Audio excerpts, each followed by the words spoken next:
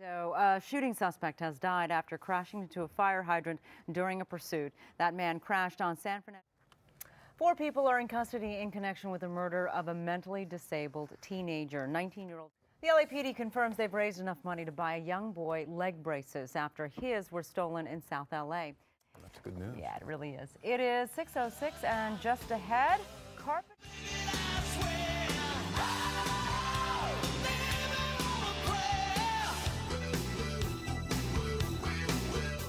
Long after the fighting stops, war continues to take a deadly toll. It's estimated that nationwide, 23 American vets commit suicide every day.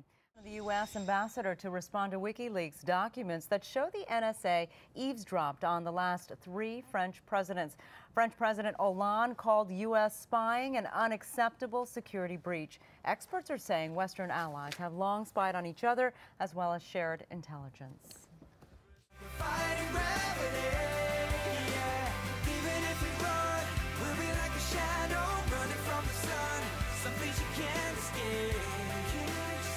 Wahlberg brought a few good vibrations to a recent New Kids on the Block concert at Madison Square Garden.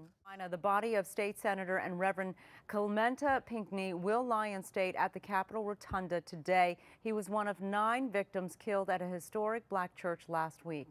Yesterday.